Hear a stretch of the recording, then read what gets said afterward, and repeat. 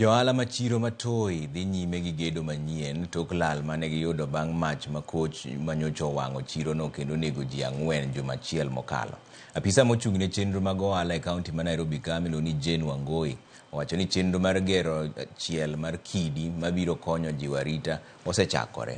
Kolose e kinde ma ne olimo chirono, olero ni gimiyo jo ohalago fuong'ruok mar dweche adek ma ok gibi chulo osuru mosebedo ka ijuogogi kaka achiel kuom yore mag miyogi yot e kinde ma gigedo manyien.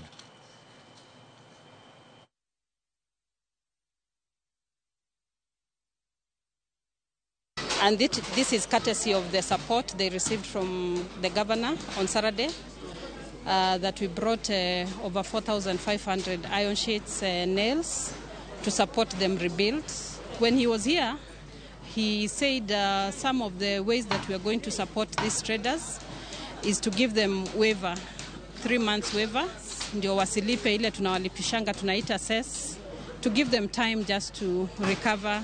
He has instructed that toy market sasa tuto, tutoe kwa hivi vibanda za mabati we make for them a permanent modern market. Wamor gi gima gavana osetimonwa, nomiyowa mabati kendo wan gi geno ni pod obimiyowa gik mamoko.